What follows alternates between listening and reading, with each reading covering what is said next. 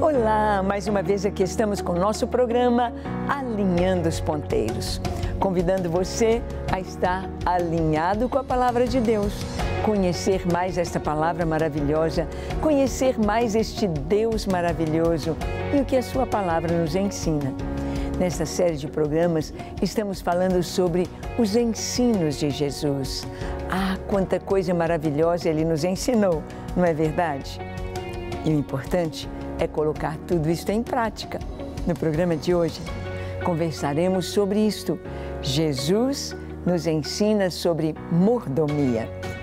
O que é mordomia no sentido bíblico? O que é a mordomia cristã?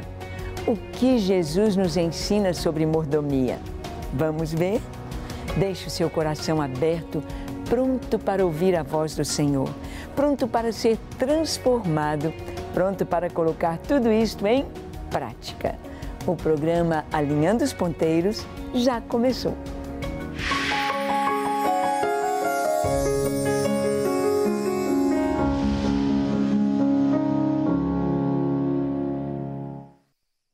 Muito bem.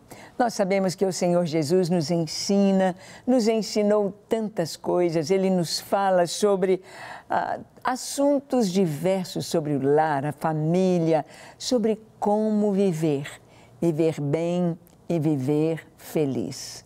Jesus nos ensina sobre todas as coisas. E ele falou sobre a mordomia.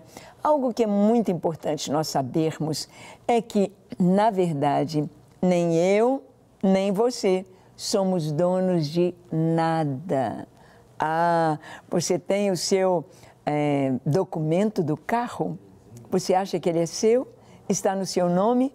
Hum, uma notícia.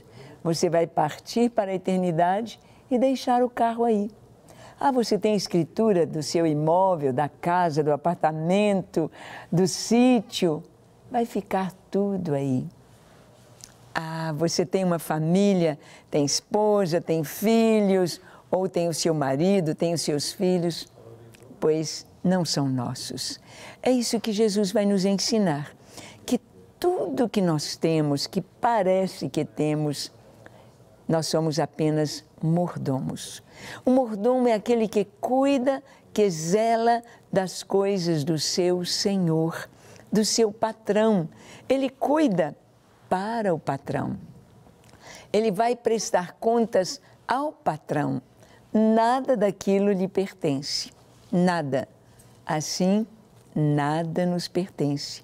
Tudo tem apenas um dono, Deus. E a Ele, eu e você vamos prestar contas. Vamos ver então o que Jesus ensinou? Abra sua Bíblia em Mateus 25. Nós vamos ler do verso 14 ao 18 a parábola dos talentos. Diz assim: Pois será como um homem que, ausentando-se do país, chamou seus servos e lhes confiou seus bens. A um deu cinco talentos, a outro dois e a outro um. A cada um segundo a sua própria capacidade, e então partiu. O que recebera cinco talentos saiu imediatamente a negociar com eles e ganhou outros cinco. Do mesmo modo, o que recebera dois ganhou outros dois. Mas o que recebera um, saindo, abriu uma cova e escondeu o dinheiro do seu senhor. Bem, aqui Jesus está contando uma história é, relacionada com o dia a dia das pessoas que estavam ouvindo. Isto era muito comum. Os mordomos dos homens ricos, das pessoas que tinham muitos bens, tinham fazenda, tinham negócios, tinham suas empresas, eles tinham seus mordomos, os seus gerentes, os seus administradores. E então, puxa, estou com bastante dinheiro aqui, você vai investir para mim. Aqui tem cinco talentos, o outro dois e o outro um. E ele deu para cada administrador, para cada um, de acordo com a sua capacidade de trabalho. Muito importante guardarmos essa primeira palavra. Eu tenho o que Deus acha que eu sou capaz de administrar. Os filhos, o lar, a família, o dinheiro, a casa, o ministério, a saúde, de acordo com o que eu posso administrar, a minha capacidade de trabalhar com aquilo que Deus colocou em minhas mãos. Então, primeira coisa que nós vamos lembrar, Deus confiou a mim aquilo que Ele acha, aquilo que Ele sabe que eu sou capaz de administrar. Nem todos receberam porções iguais. Há quem ache que o comunismo, o socialismo, igualar todas as pessoas, pagar o mesmo salário para o médico, para o professor, para o lixeiro, para o padeiro, que isto é igualdade, que isto está certo, que isso está correto. Não, o nível de responsabilidade de cada profissão é diferente. Então, os salários não podem ser equiparados. O nível de responsabilidade é muito grande. Mas a palavra nos diz que Deus deu para mim e para você, para cada um de nós, aquilo que nós podemos desenvolver, aquilo que nós podemos produzir de acordo com a nossa capacidade. Continue o texto em Mateus 25, 19 a 23. Vamos ver que houve uma prestação de contas. Está escrito assim: Depois de muito tempo, voltou o senhor daqueles servos e ajustou conta com eles. Então, aproximando-se o que recebera cinco talentos, entregou outros cinco, dizendo: Senhor, confiaste-me cinco talentos, eis aqui outros cinco talentos que eu ganhei. Disse-lhe o Senhor: Muito bem, servo bom e fiel. Foste fiel no pouco, sobre o muito te colocarei. Entra no gozo do teu Senhor. E aproximando-se também o que recebera dois talentos, disse: Senhor, dois talentos me confiaste, aqui tens outros dois que ganhei. Disse-lhe o Senhor: Muito bem, servo bom e fiel. Foste fiel no pouco, sobre o muito te colocarei.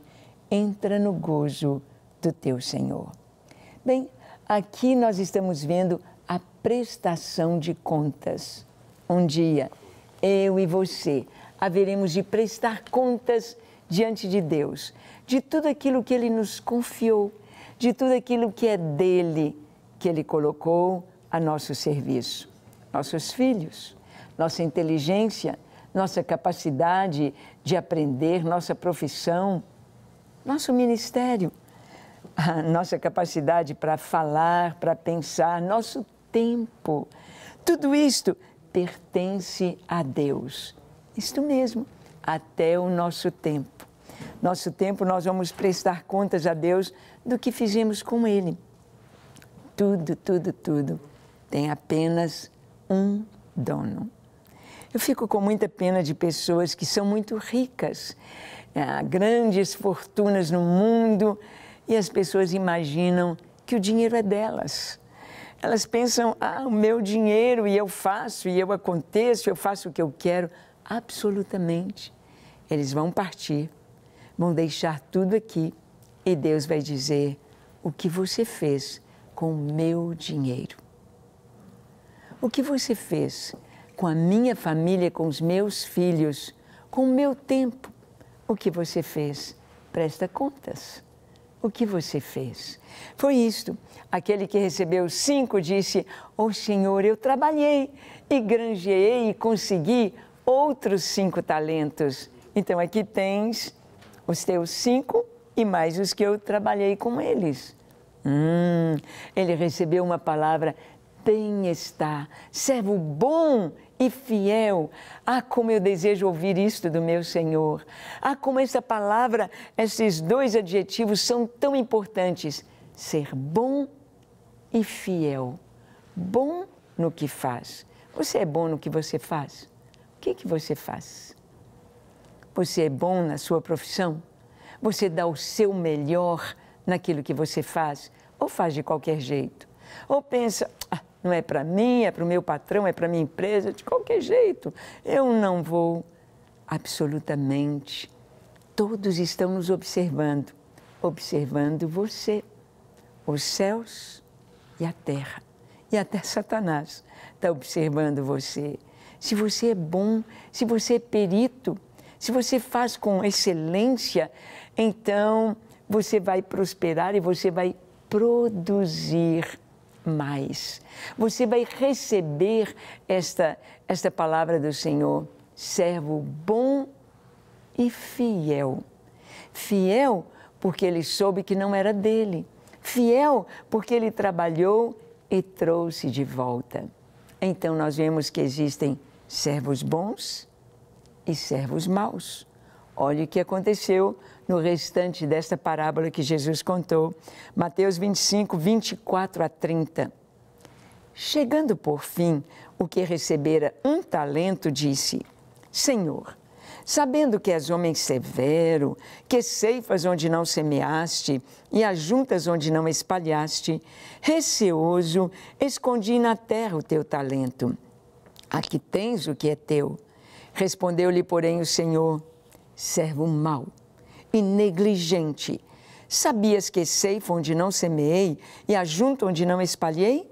Cumpria, portanto, que entregasses o meu dinheiro aos banqueiros, e eu, ao voltar, receberia com juros o que é meu. Tirai-lhe, pois, o talento, dai-o ao que tem dez, porque a todo o que tem se lhe dará, e terá em abundância, e ao que não tem, até o que tem lhe será tirado. E o servo inútil, lançai-o para fora, nas trevas, ali haverá choro e ranger de dentes. Bem, o Senhor está dizendo que tem servos bons e servos maus. O bom é o que faz as coisas da maneira correta, faz o bem. Os maus são aqueles que fazem de qualquer jeito ou nem fazem direito, ou às vezes nem fazem. Por exemplo, você é pai, você sabe seu papel como pai, você sabe como você deve cuidar do seu lar, você ser o, o sacerdote na casa, você trazer para sua família segurança, paz, a palavra de Deus, você abençoar a sua esposa, você abençoar os seus filhos, você ter comunhão com seus filhos e ensinar-lhes é o seu papel. O Senhor vai te perguntar: presta contas da sua mordomia como homem de família, como chefe da casa. Hum, não adianta arrumar desculpas para Deus. Deus sabe. Hoje mesmo estive conversando com um motorista de Uber e ele me disse que tem um filhinho de quatro anos. A esposa vai trabalhar no hospital, ele pega o Uber e o pequenino fica com uma cuidadora. E depois vai para a escolinha. E eu perguntei: "E como que está o seu pequenino?" Ele disse: "Ah, na verdade está sendo criado por outra família, porque a gente o entrega a outros cuidados e nem sempre o que ele está aprendendo é o que nós gostaríamos. Será que vale a pena ganhar o dinheiro, pagar talvez um salário e meio para uma cuidadora, sendo que a mãe ficar em casa ganharia muito mais com isso? Porque Deus vai perguntar: o que você fez com o pequenino que eu coloquei nas suas mãos? Como você cuidou do seu filho? Como você tem cuidado da sua família? Isso é mordomia. Nossos filhos não nos pertencem. Nossa esposa, nosso marido não nos pertencem. Mas aquilo que o Senhor nos confia pertence a Ele. A Bíblia diz: herança do Senhor são os filhos, e o fruto do ventre é o seu galardão. Herança do Senhor tem um dono, Deus. Como é importante. Aquele servo mau que ele fez, ele escondeu. Ele disse: Ah, eu não vou trabalhar com isso, não é meu, é do meu Senhor, eu simplesmente vou devolver a ele o que é dele. Também não é assim. Também não é assim. Nós temos de produzir durante a nossa vida com aquilo que Deus nos confiou. Não é escondendo, não é deixando de fazer que eu estarei bem com Deus, muito ao contrário. Aquele homem disse: Senhor, eu sei que o senhor é mau, eu sei que o senhor cobra, o senhor vai cobrar, o senhor ceifa onde não plantou. Olha, ele falou tudo errado. Deus nunca ceifa onde ele não plantou. Ele planta e colhe. Ele nos dá semente para nós plantarmos e trazermos para ele a colheita. Mas o Senhor não corrigiu aquele servo dizendo: Não, eu não sou mal. Eu não sou mal. Ele não se justificou. Deus não precisa se justificar. Não adianta você se justificar e querer jogar a culpa em Deus daquilo que você tinha de fazer. Não adianta você querer colocar a culpa na esposa, nos filhos, por não ser um bom pai, ou por não ser uma boa mãe, ou na sociedade dizer: ah, hoje é mesmo, a mulher tem de trabalhar, tem de sair de casa, não tem jeito, hoje. Não, tudo tem jeito quando nós buscamos Deus e quando nós sabemos que somos apenas mordomos, que nada que está em nossas mãos nos pertence. E o Senhor disse para aquele servo: Olha, o mínimo que você deveria ter feito era colocar no banco o meu dinheiro. Banco. Você pode pensar aqui, por exemplo, em termos dos cristãos, em termos de uma família cristã, o mínimo que se pode fazer é estar no banco da igreja. Sim, estar ali no banco aprendendo, ouvindo, crescendo, aprendendo. Pelo menos não vai desvalorizar o dinheiro. Se você, pelo menos, está indo à igreja, levando seus filhos, pelo menos se assenta para ouvir a palavra de Deus, já está bom.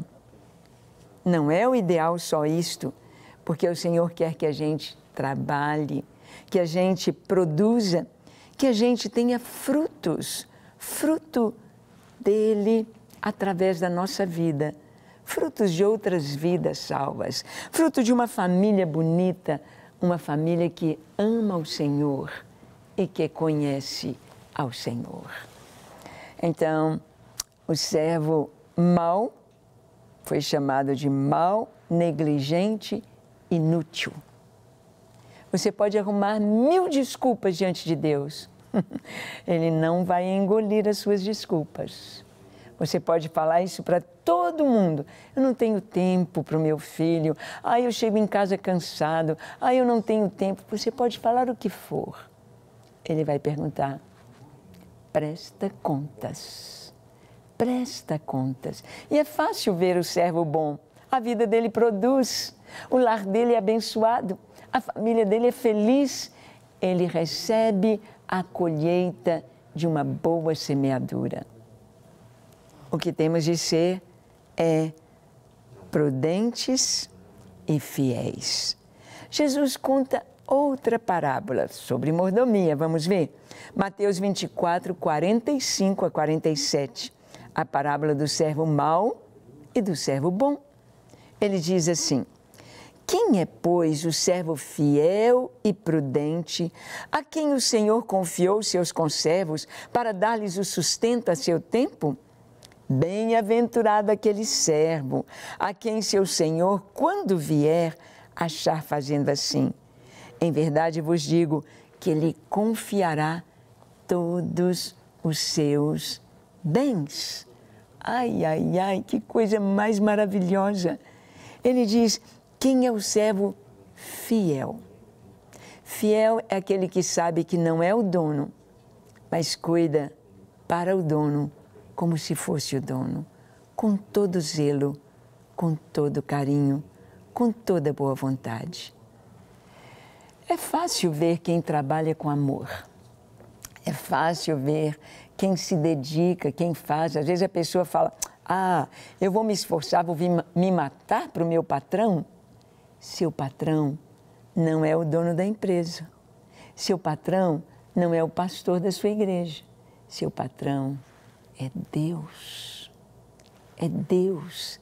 É Ele quem nos dá todas as coisas. É a Ele a quem servimos. É Deus. E vamos prestar contas do nosso trabalho. Isso mesmo, seja o que você for. É um professor? Seja um excelente professor. Se esmere em ensinar. É um médico? Seja excelente, pontual, capaz, sempre procurando estar atualizado, aprendendo. Você tem um trabalho bem simples e é apenas o porteiro de um prédio. Seja amigo de todos, abençoe a todos, cumpra o seu papel com excelência. Para que você seja chamado de servo fiel e prudente.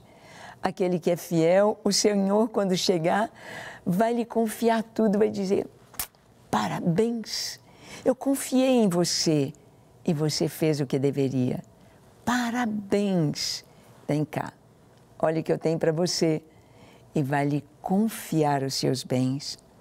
Mas do verso 48 ao 51 está escrito: Mas se aquele servo, sendo um mau, disser consigo mesmo: Hum, meu senhor está demorando, e passar a espancar os seus companheiros e a comer e a beber com eles, virá o Senhor daquele servo, em dia em que não espera, em hora em que não sabe, e castigá-lo-á, lançando-lhe a sorte com os hipócritas, e ali haverá choro e ranger de dentes. Ah, se as pessoas pudessem penetrar na realidade da verdade da palavra de Deus e saber que Deus não está brincando e saber que Deus não está falando palavras soltas, palavras. Não. Ele está falando a verdade. Ele está prevenindo para o futuro. Ele diz: se aquele servo for mal, e ao invés de fazer o que tem de fazer, começar a espancar. Quantos maridos espancam a esposa, espancam os filhos? Quantos pais não cumprem a sua tarefa de amar e de disciplinar e de admoestar os seus filhos, de ensinar-lhes no caminho em que devem andar? Se começar a comer e a beber com os ébrios, pensando só em si. Hoje nós estamos num mundo cheio de hedonismo, a pessoa pensa apenas em si. Ah, eu tenho o direito de ser feliz. Esse direito de ser feliz dela é egoísta. O casamento lança fora o egoísmo. Casamento fala de amor. Casamento fala de renúncia. Casamento fala de olhar o interesse do outro acima dos meus interesses. Quando a mulher está grávida, ela começa a aprender um pouquinho mais sobre isso. Ela já está ali abrigando no seu ventre um novo ser, uma nova pessoinha que está sendo formada e vindo ao mundo. Então, ela vai se adequando a isso, ela tem de se preparar. Nasce o bebê, a maternidade, o leite, o cuidado, o amor, o carinho. Não é para pegar o, o bebezinho e jogá-lo numa creche. Não é pegar o bebezinho e qualquer um cria, fica na mão de qualquer um. Eu me lembro de, no consultório, meu esposo atendendo uh, famílias, atendeu uma senhora que foi levar um bebezinho. A criança estava toda marcada de queimaduras de cigarro. A mãe ia trabalhar fora, morava na favela. A mãe ia trabalhar e deixava o bebezinho com uma, uma cuidadora, uma vizinha e aquela mulher, quando estava com raiva, a criança chorando, ela apagava o cigarro na criancinha. O que, que essa criança está aprendendo? Ela está aprendendo que o mundo é mau. Ela está aprendendo que o choro dela não importa. Ela está aprendendo que quando alguém chora, eu vou machucá-lo mais ainda.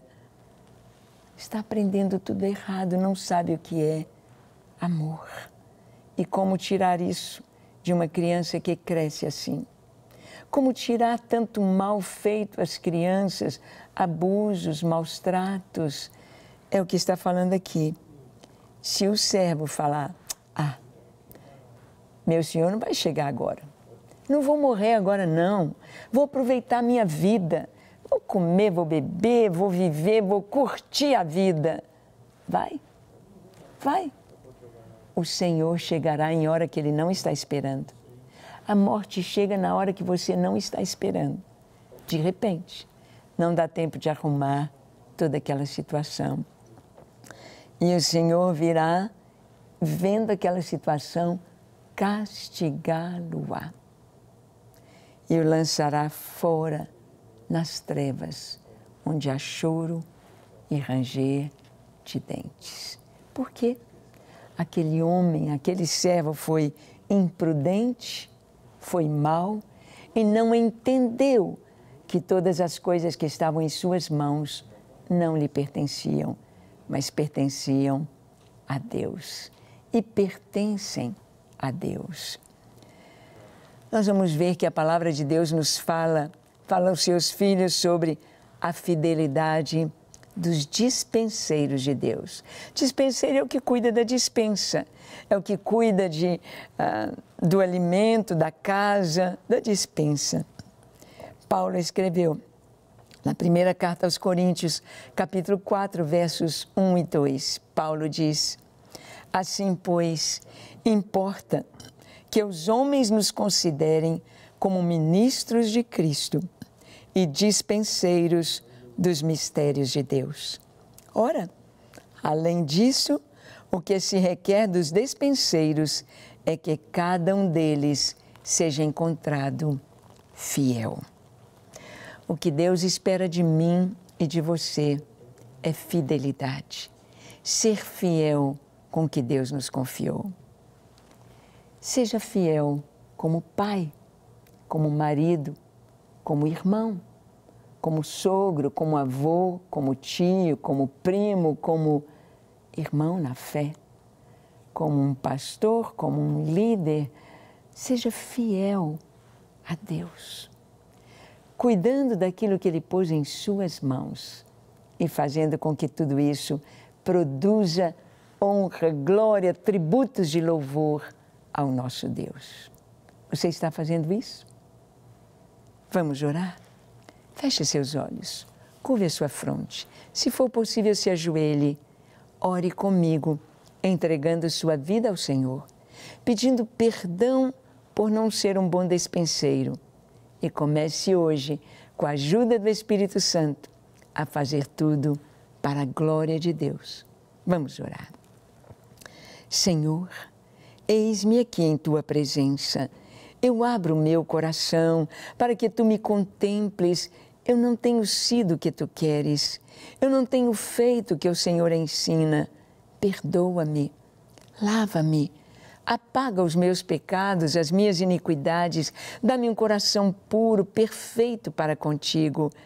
Eu quero ser um bom servo, um servo útil, um servo fiel. Dá-me o teu Espírito Santo para que eu cumpra na minha vida a tua vontade recebe o meu coração, a minha vida, eu me entrego a Ti hoje e para sempre, em nome de Jesus. Amém, amém e amém. Graças a Deus. Que você seja um servo fiel. Para ouvir naquele dia, bem está, servo bom e fiel. Foste fiel no pouco, sobre muito te colocarei. Vem entra no gozo do teu Senhor. Amém? Que Deus te abençoe ricamente e que nós possamos viver esta palavra cada dia. Te espero em nosso próximo programa, quando aqui estaremos compartilhando com você a palavra de Deus. Até lá!